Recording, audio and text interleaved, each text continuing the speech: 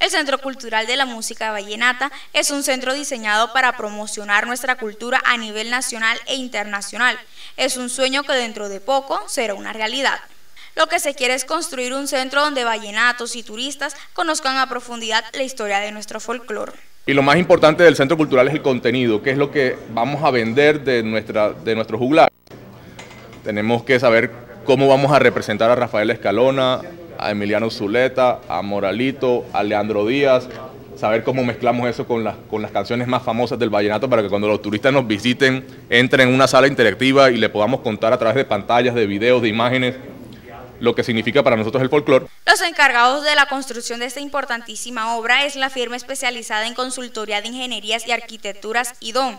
Ellos serán los que transformarán todo lo que significa la música vallenata en una megaestructura yo creo que en lo físico tendrá mucho que ver con, eh, con lo que es Valle de Upar, con los árboles, con los edificios, eh, no sé, la situación del lote.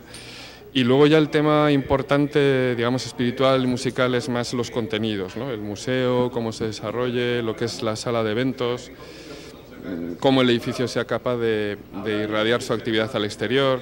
No sé, son cosas que, que, estamos viendo poco a poco. Aún no se tiene una imagen de lo que será este proyecto, pero no cabe duda que será algo que cumplirá todas nuestras expectativas.